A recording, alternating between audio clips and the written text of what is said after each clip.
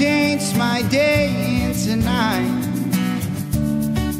Where is the love to be found? Won't someone help me? Cause I.